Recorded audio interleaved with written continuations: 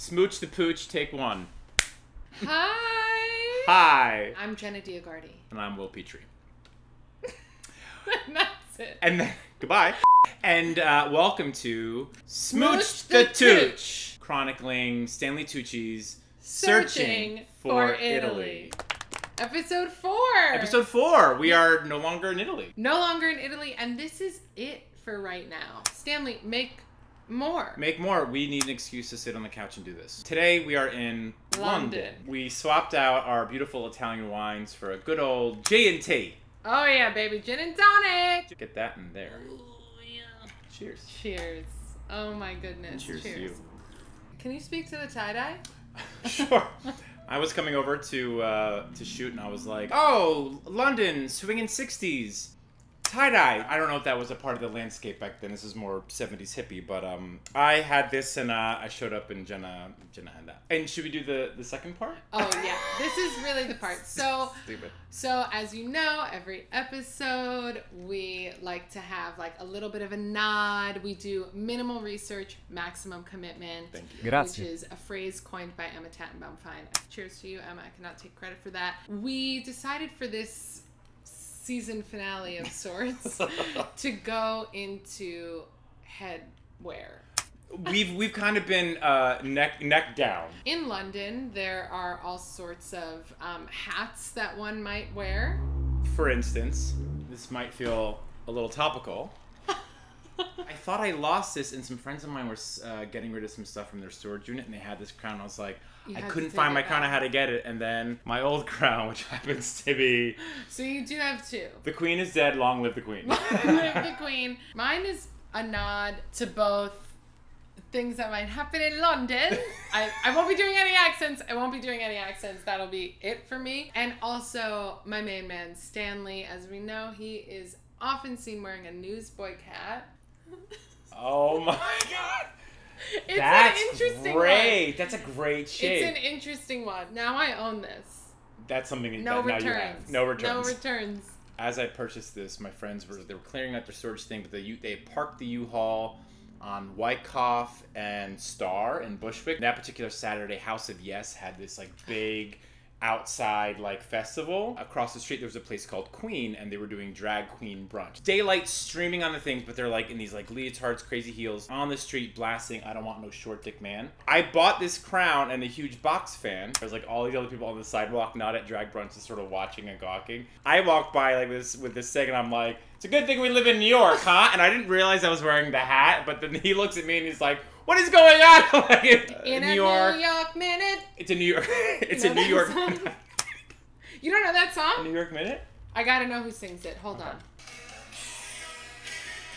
Yes, everyone. I've heard that. Yes.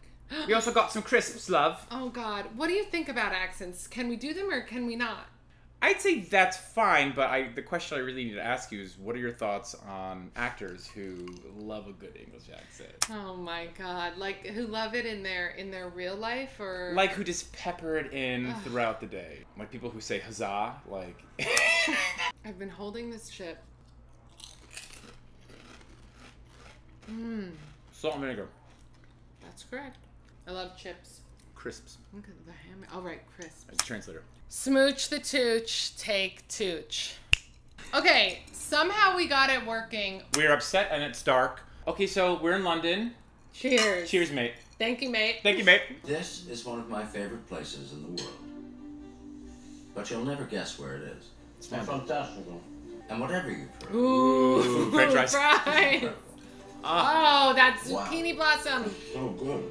I don't even want to talk anymore. So he's gonna give us the Italy of London. We're not gonna be seeing fish and chips, I don't think. I'm Italian on both sides. thank you. London's been my home for about a decade now. Okay. We can To tell. my mind, no city in the world can rival its elegance and charm.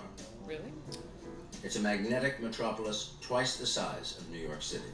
Okay. Whatever. Size queen. Whatever. And today, I've managed to sneak in before the lunch crowd arrives. Big and it turns out Francesco's cooking a dish I've never tried before. So what are you gonna make? Scottish scallops with nduja and salsa verde. Whoa. Scottish. A couple of things. Please. I have never seen a scallop's shell. Can I just say something? I'm gonna be completely vulnerable and honest. I thought a scallop came as its own thing. A little piece of meat floating in the ocean. Yeah. Didn't know that. I was today years old when I learned that. Is a Calabrian sausage that you typically Nduja. find scraped on a bit of old bread. I thought it was Okay, pronounced wow. Nduja. I have children soup, smaller than that. Jesus. Oh, that's beautiful. Yeah, that is really, really. Whoa. Just put your fucking thumb right in that thing. Oh, The way he put his thumb right in that thing, I was sort of like, is that my vagina? yeah, very sexual. That's why every time I see his hands touching food, I You- feel you like, like it's it. my vagina. Oh, sure. That's nice. Oh, my filet man. Oh, This is the Nduja. It's like a candy, practically. Yeah, it's not unusual, but Whoa. okay. Whoa. I'm, s- I'm salvinating Yeah. again. Salsa verde, bread Oh, salt, he vinegar, just keeps anchovies, parsley, elevating capers, it. egg white, and garlic. Calabrian extra virgin olive oil. Oh my. It's juniper branches here, just to give a bit of decoration to the dish. Right? Just a little bit. Oh, There's a lot going on on that he plate. just keeps. I I needed it to stop at the shell. I wanted it to stop with the shell. Maybe we should um, trust the process. But I'm I'm having a reaction to there being a lot of ingredients because you know in Italy it's like they scream at you if like there's four things. Yeah. Anything more than four, they, That's they scream. it. The one who really sort of introduced it. I was the one who introduced Nduja to, to, to Cologne. And now you find it really everywhere, and now is Wow, a great okay. part of your ingredient list. This feels that way about that. Nobody in their right mind a generation or two ago would have thought of Calabria as somewhere that, you know, had a, a cuisine. okay. But we're looking in the wrong place if we think that somehow it was peasants who magically Yeah, so transplanted yeah. this food onto our tables. I have you know. feelings the about this. real Whoa! motors of Italian cuisine are cities. It was people like it was poor people in the country who like we don't have um, a lot, so how do we make the most of this? Is my understanding of like the best food not only in Italy but like everywhere. I'm having a negative reaction. Strong reaction. him. Okay. Whereas London is more competitive, but as they say in Italian, nessuno ti guarda in faccia. Nobody looks at who you are, they look at what you can do. Right. Olive oil mash and crispy potatoes. It's a lot. It's a lot. That's a lot. It's beautiful. Mm. It's gorgeous, but there is a lot happening. I think London is a place where a chef has to be in mind because everything's possible here.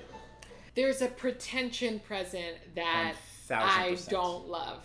In the previous three episodes, did we see any of that? Any of that like No. that ego was not on display there and it's like is that a reflection of the editing of how those three episodes went or is that a reflection on where we were I think it's a reflection on where we were. This is cathedral Oh, food. oh that's This so is cool. Mercato Mayfair. This is what I'm talking about. Oh, I That's love him. Look at the color of that. With Look the at the way. lemony pasta. Let's Grab get that one fucking kilo. pasta I have one question for you, which is have you ever been to London?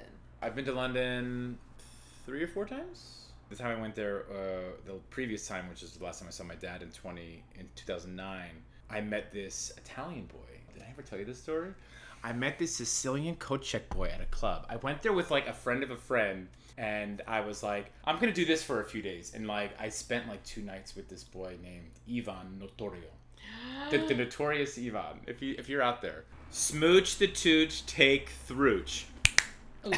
And we're back at my house with enough wild rocket for a Roman legion. I've seen on his Instagram his kitchen. The doors, the It's the gorgeous. what do they call the pulls? I I like. I that's a very it's very good It's style. really beautifully done. Yeah, he does a good job. Smell it. Oh my god. Where I come from in Amalfi Coast, lemons, lemons, lemons, lemons. Squeeze, squeeze, squeeze. Eat, eat, eat. Amalfi Love lemons him. are renowned across Italy for their Yes. incredible sweetness. Mmm. The chili don't have to be hot. Yeah. Chili bring out the Wait, did you see these? You have the same chilies. Are the are these are these Italian chilies? My dad grew these in his garden. I'm trying to dry them out so that I can have crushed red pepper flakes like from these. See, Every- they're getting a little dry. Every time I touch a jalapeno, I always either touch my Oh, no. nose or This my, isn't the same or thing. my penis. Like, eh, eh, eh, like, and I wash my hands, but like some of the. Oh, the the penis is upsetting. always burn, burn. There's a fire. Look at that. Ah. As soon as it come up, it's ready. Yeah. And if it's a little bit then it doesn't matter. If it's a little al dente, it Oh, doesn't look matter. That's that. right. Gennaro's tagliolini with Amalfi lemon Down and arm. London rocket may not be a strictly traditional recipe, That is gorgeous. It's a lovely peppery wine looking. Look at how beautiful that is. but it's with beautifully simple and inventive. One, two, three, four ingredients. Gennaro was able to change London's culinary scene forever. Feel. Three. Is Felicity here? Fel- Felicity? She's on camera. Let me see. Oh, it looks good. Wait, how are you? We just made Hi, this and ate it. Felicity. You're zesting me. Very Oh! zesty. I feel as if they have a very sexual relationship. It's like the Morticia and Gomez Addams thing of like they're just in the first iteration of the Addams family. There was like a little description of like these people were put on Earth to fuck each other. Like you cannot go too far, and that's why like in every iteration Yeah. they're just like What about the? Have you ever seen the aprons that are like like a bikini body? no, I've seen I've seen T-shirts with a bikini body, but there's an apron. I think there's an apron. Also I saw this thing on the internet of like if you're a dad at a grill and you have those tongs and you don't clip them every two seconds, are you even a dad? And I'm like, No. I'm like, no, you're not. No. And I'm always like, clip, clip, Always clip, clip, them. clip, clip. Always clipping them. Hey Matthew, I need some chicken. So probably those carcasses and maybe. Angela has invited me over to her house for lunch with her Fun. extended Welsh Italian family. Good morning. Yeah. Nice to, nice You see good you. like Yes, yeah. We'll take some reds to um, cook with and we'll take a white. That's exciting. You can carry the white stuff. Uh, yeah, sure. How do you feel about her? I I um uh it's it's we're going we're going back English and um the descent is there's some turbulence. Yeah. It's every time we're going into British people, and I, I don't know anything about her. She could be lovely. Uh, we might fall in love with her mm, in thirty. I don't have a watch. In like thirty seconds, maybe we're primed for a different um. A different, uh, you know what I'm talking about. There's no squeezing the lemon and, have, and having the juice run down your fucking forearm. It's not primal. It's all very like. It's all very curated. curated. I'd rather be like dirty and in Italy. You know what I mean? I, You know Dirty I and mean? in Italy, I'd yeah. rather like have shit all over me, like food all over me. like those farmer boys in, in the last episode. I will be your eggplant. I will be your Um, eggplant. Farm me. A trail of breadcrumbs. Starving. Well, you got to cook a little bit first, Oh, Mr. What that? That's a hand. Just like mine. Angela's grandparents were Italian. Almost 80% of the original Welsh Italian population can trace their heritage to the same village, Oh, Bardi. that's interesting. He must have okay? burned his mouth. Breadcrumbs and cheese, affordable even to the poorest families, Look at that. take the place of meat in the Philippines. Angela's mother, Juliana, her aunt Viv, and Uncle Ren have arrived just in time Thank to do the God. hard work of filling Bring the him Come in. in, bring him in. So you were all born here. You get that great confusion between cultures of making pasta, drinking tea. Maybe this is part of her post-mortem, but as like an Italian American to kind of like, I'm curious for your hot take of Italian Brits because like there there are things that are like you know like we discussed even in the first few episodes of like you want to make the distinction between like you're not Italian Italian, you're Italian American, which is it's it is its own thing, and you you kind of straddle a couple different worlds, and mm. as as this family does here, Mom's about to try the, love love the the mom. breadcrumbs. Okay. Um, so slightly a bit more salt. A bit more salt. Okay, no, that's fine. We can Mediate have. Tell him the tea. Tell him the tea. Tell him Bring the the tea. Yeah, don't go too big, Mr. Tucci. Oh, sorry. I mean, honestly, turn your Mr. back for one minute and it all goes to pot. I might love her. I might love her. Just press them down and then use your stamp. She's a slow burn. She's a slow burn. Those are gorgeous. I turn my back for a minute and it all goes to pot. to pot. Which is also that's a great British expression. Great it all goes saying. to pot. It all goes down the shitter, as we would say. Oh, they're so gorgeous. And they went right in the broth? Yeah. Cheers. I've heard a lot about you. She's probably Yeah, it wasn't 105 good. that. Easily 142. Yeah. Mm, I can smell them, Oh. Angela. Yeah. No, but that's that's delicious. They're very good So simple. It's just like like it's not visually like But popping, but like I'm I'm my mouth is watering. Breadcrumbs, it's cheese, it's the pasta, and it's chicken broth. It's homemade chicken broth. That's all you want. Do you want a crown? We, we're like about halfway through. Do you want to switch to crowns? Yeah, I think I have to switch. My head Heavy, is heavy, hot. heavy is the head. Oh! Where's the crown? Oh, hold on. You're, you're showing your. Uh... Like this? No. Oh, look at us. We're doing all right. Is Like, this one bigger? This one Should we try? Very big on me. Should we exchange crowns? I think that one's oh, bigger. Oh, bigger. I think it is Oh my god, bigger. it's significantly bigger. Oh, oh yeah, king and queen. Oh. That's what it is. We found it. I was wearing a jaunty little like little princess cap. That's what it is. Thank We you. figured it out. Now we can begin. Cheers. Okay. Oh, oh Mia mamma, Mamma buon- buongiorno. Actually, when I came to London, you know, I realized I was missing mama's food lots. You know, I, I lost about 20 kilos. Where do you want to start? The hair. Uh, he's making some choices, and I don't think those choices are uh, flattering him. Just shave your head. I think. Maybe he- we're still on a journey. I think he might be cute bald. The face is good. The nose is good. He has beautiful eyes. Beautiful eyes. Get rid of the goatee. Oh. These daring mothers left their homes in search of opportunity. There's so many beautiful regions in Italy.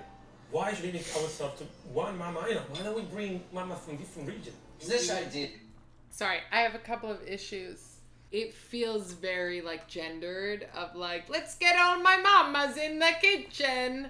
Okay, let's just see more. Uh, let's let's write it out. Let's write it out. La tradizione della domenica, le famiglie devono mangiare il ragù. Sunday sauce. Beef ribs, cuts of pork, sausages, thinly cut slices of steak are all browned, then poached in red wine. How are you feeling? I've said it before on this, and I'll say it again. If I was there, I would eat it. I- If I was there, I would eat it. No, uh, no fucking question. What do you use? We what usually kind do. of meat? We usually do half ground beef, half ground pork. You ready for something to get it a little elevated? Miele prosciutto. That you can usually go to a butcher and get their meatball mix, which is usually beef, pork, veal. The veal. Yeah, yeah, yeah, yeah. No, buono marito. No marito. No, sono separata. Separata. Separata. Eh, Tu sei affascinante. Fashion, okay? Fai sexy. Wow, that's the one English word you know. I don't know if it was editing, but it seemed like she went straight from "We're separated. Right. You're sexy. You're sexy. Come meet me behind the meat sauce. I mean, I do want that to be my future. Yeah, I do like her quite a bit. It's okay. The thing about him, it's the mamas. They are bringing the food. It. I don't. I'm not enjoying him. Yeah. With its promise of opportunity, this city attracts immigrants from across the globe. But when each of these adventurous mothers arrive in London, It it does feel like I love them and um like they all come here. They don't speak English. Like I, I I'm just getting an exploitative vibe that and maybe it's coming from him. Yeah, I would I rather know. see them in Italy. I would rather see them where they're from. Or I'd, I'd rather see like one of the mamas be like running the show. I'd rather see one of the mamas yeah, the show. yeah, yeah, yeah. That's a good point. What I did love is just see some tambourines come out. I Oh, would, sure. I would love. Ideally, I wind up in a situation where I'm cooking for Uh-huh. people, and then I play the tambourine at the end of the night. I mean, The La French Connection. Quello principessa. Oh, Chicken thank With the Chicken Italian at the end. That's Yes. so nice. So this is chicken a la Princess. principessa or something like that. We're kind of like chicken princesses, the two of us. Uh, no, I feel more like a beef king. Do you feel like a chicken princess? I feel a little bit like a chicken princess. London's creme de la creme lapped up these dishes, but it was all a sleight of hand dreamed up by Quo Vadis's notorious owner, Peppino Leone.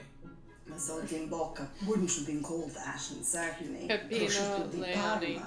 I do believe that he was certainly a supporter of fascism.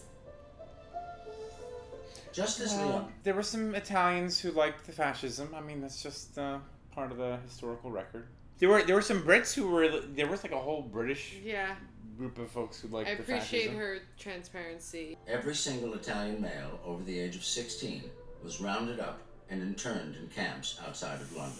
I didn't know that. Did you know that? No, so they're giving us some unfortunate but important history. Sure. I, I do appreciate the history lesson because Yes. I, I don't know any of this. I did not know that. Uh, I mean, I know that in the U.S. Uh, the U.S. government rounded up Japanese people in internment camps. I, I certainly knew that, but I did not know that they did this to Italians No. in Britain. Who could have imagined that this little cup of espresso would become a symbol of Italian glamour and the taste of La Dolce Vita Mm. all over the world? This is the only time that they've ever talked about glamour. In all the other episodes that we've seen, they've never talked about glamour or this idea of perception. Mm. And now that we are like removed because we're not in Italy, we're in London. It's all about like how do what do we think of the Italians? I think part of my reaction against some of the way people are talking about it is like that perception. It's sort of like because I'm looking at you, I'm perceiving you a certain way. I'm placing value and judgment on you based on where I'm coming from culturally, which is like very rooted in white supremacy. I mean, like we can talk about like the expanding perception of whiteness and how like for a very long time Italians were not considered white, the same way that Spanish people were not considered white. It just overall feels like in London there's much more of an awareness of um, what it is presenting to be. The present the presentation The presentation. the presentation yeah, is uh, of the food of everything of the dining experience of all of it as opposed to like in all of the episodes in Italy it's felt very much from il cuore from the heart you know it's just like this is just what it is and what it's always been But even the those Castardi brothers. I know. Even yes. oh the fancy the Fancy Boys, they were still sort of like they were rooted in like they were what the grandparents were saying of like, oh, you're crazy, but like you know they were like, no, I'm taking from art from cinema. Yeah. blah. That seemed to Felt be from the passionate. very passion for it as opposed to perception, glamour, competition competition value. Okay, we got four minutes left. We got this. we got this it'll take us 35 minutes I'm to heading west out of the center of London. Who knew? Mother of pearl. The brains behind this mozzarella super lab is former investment Woo! banker Simona Di Vietri. So, Hello. Pause to say former investment banker Simona now runs a mozzarella factory. work. There's something about the way, even in the first shot of her, the way that she looks at things, she has very, uh, I feel like she has very discerning eyes. Yeah. I'm excited to see more. Why are She you has her making eyes on everything. In Acton. Well, it started with me leaving Italy 20 years ago. The magic of ah! mozzarella begins when rennet is added to milk. Rennet? To separate the curds and whey. What's rennet? It's a thing that you add to. Cool. I know exa- what he said was. Separate the curds Oh. and whey. That's all I know. Okay, okay. This is the starting point. Put that thing in your Still warm. I love that. Even more wonderful than Simona's mozzarella is another cheese her team makes using her mozzarella. Burrata. It looks almost identical, but it's a ball of deliciousness called burrata from it. burro, Italian for butter. So I'll show you the burrata. Oh, yeah. It's a flat. It goes from the middle and it's gonna shred it into lines of mozzarella. Stracciatella. Stracciatella. You mix Ah! the stracciatella with the cream and salt. Now this is the filling of your burrata. Oh my This is making it God. out. And then Mamma put the stracciatella. So that's what burrata is. That's what it is. Ta-da! Fill me like your burrata. Plant me like your eggplant. Fill me like your burrata. Oh my God. Look at- look at that thing. Oh. Enclosed within this little mother of pearl cheese is perhaps the future of Italian gastronomy. That's really delicious.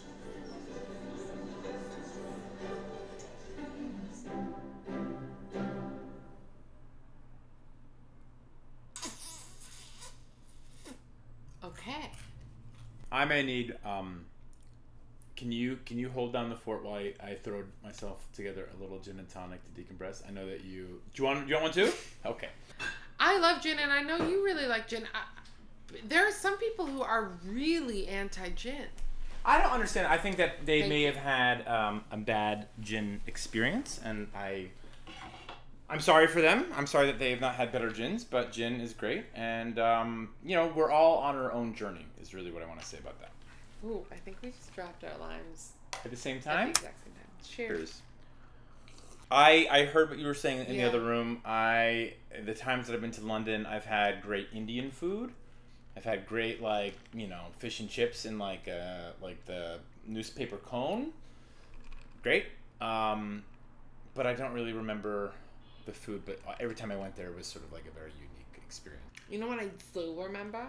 Fish and chips in Edinburgh when I came to visit you. Yes. I was there for 36 hours. We saw I saw your show and then like four other shows in those 36 hours. But we got fish and chips and I remember sitting in your flat that you shared with everybody. Yeah. Eating those fish and chips. I remember and they were so good. Yeah. Oh, yeah. There was a spot that we that was like down you the took street me from. there a- like the night that I got there or something. there was a spot that was super close to our flat. That was almost 10 years ago. I also remember from that trip, it's, it's Edinburgh, and even though it's like it was August, it was like oh cold Oh and rainy. She buys an umbrella, ten euro, something like 12 that. euro. Twelve euro. About to put the change back in the wallet.